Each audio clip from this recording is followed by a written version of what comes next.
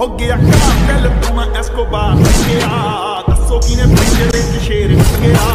step ਚੱਕਣੇ step ਨਹੀਂ ਤੇਰੇ ਸ਼ਹਿਰ ਵਿੱਚ ਖਾਲੀ ਕਰਨੀ ਕਲਬ ਨਹੀਂ ਇੱਕ ਜੀਪ ਖੜੀ ਮੇਰੀ ਥਾਣੇ ਦੇ ਵਿੱਚ ਬਦਲੇ ਤੇ ਮੈਂ ਦੋ ਲੈਣਾ ਨਹੀਂ ਮੈਂ ਡਾਕੂ, ਨੀ ਮੈਂ ਡਾਕੂ